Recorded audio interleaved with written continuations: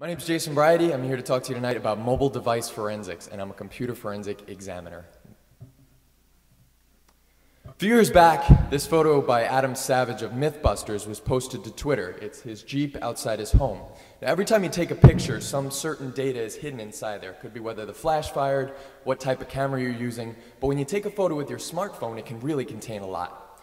This photo, unbeknownst to Adam, contained the precise GPS location of his home thanks to his iPhone's geotagging feature. Now, if you had a, a, show whose demographic seems to be obsessed with watching things explode in different ways, I feel like this would be the last thing I might want them to know. Today, over half of US adults own a smartphone. That's over 100 million people walking around with a computer in their pocket, one that is incredible at an incredible number of things. But respecting your privacy, as I'm about to show, is not one of them. This is the lettuce you eat at Burger King and it was posted anonymously to a forum. But just nine minutes after this was posted, someone as grossed out by this as you probably are did the same thing with the Adam Savage photo. And Mayfield Heights, Ohio does not have a lot of Burger Kings.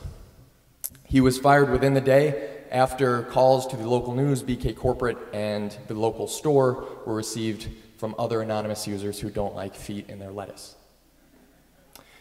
But you're not a jerk, I hope, like that guy.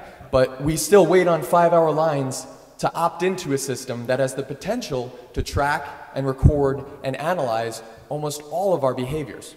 Let me give you an example. Every time you talk to Siri, everything you say is recorded and sent to Apple.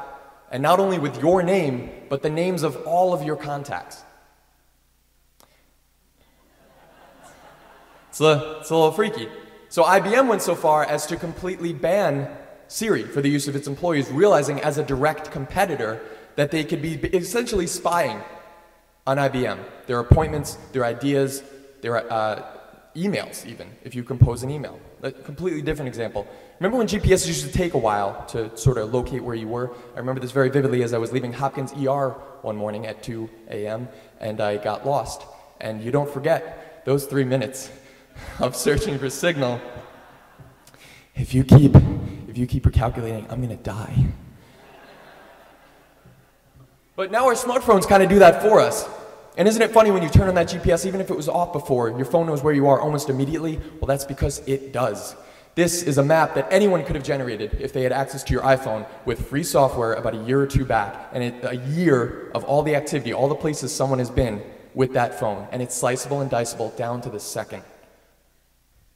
When this was first found out, people were curious, why is my iPhone logging my location? And Apple said, no, no, we're not. We're simply maintaining a database of Wi-Fi hotspots and cell towers around your current location. But let's, um, let's talk that out for one second.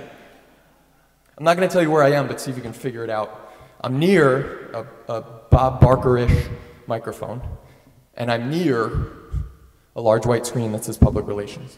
And I'm in front of a few hundred people who I hope know bullshit when they hear it.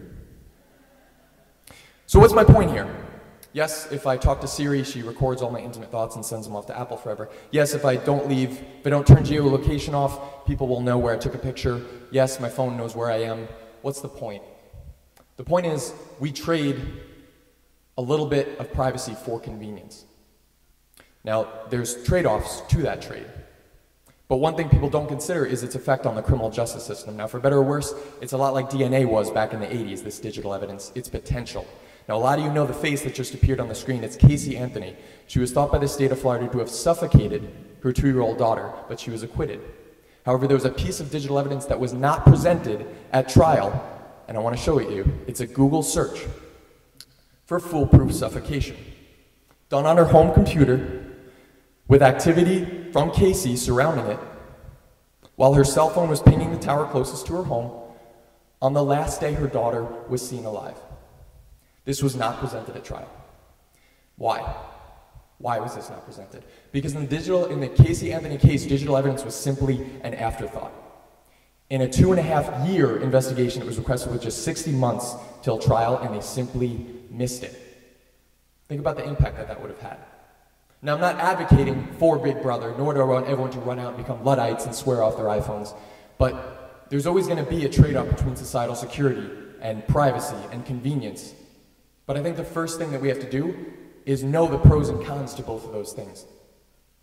Because the devices that we're carrying are not just gadgets anymore. They are part of our communal DNA.